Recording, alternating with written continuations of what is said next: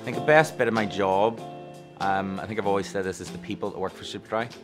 Um, you meet the most amazing people. Every store that I've worked in has had amazing teams. They all really look out for each other and it's such a big family environment. Everyone from head office right down to the store. I mean, I know people in all, all departments that I could call up for a chat anytime.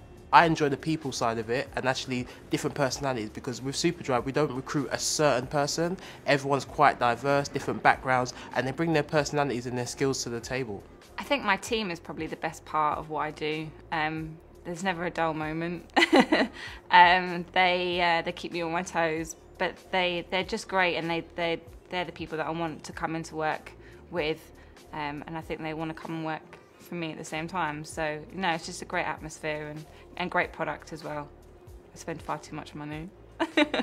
what I find inspiring is that we're still leading the forefront of retail and we're still trying to be the best and we're trying to kind of fill that gap in the market for that exceptional customer service and actually still got lots of room to grow. I think that's what I find inspiring and for me I want to grow with that company and do that same journey with them so it's like we're kind of on the same career path as a, as a business as a young manager and we're kind of building together. It's getting bigger and bigger in the UK, around Europe, around the world.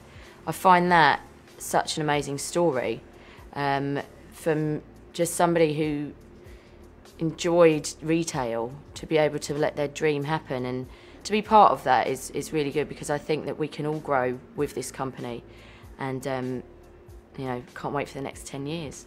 I think if you want to be successful with Superdry you just need to be really yourself um, friendly, approachable, passionate and really care about what you're doing because every single person that I work with wants this brand to be successful and they want to be part of that success story. I think if someone was thinking about applying for a job with Superdry and they're willing to work hard and play hard, then Superdry would be the best place for them.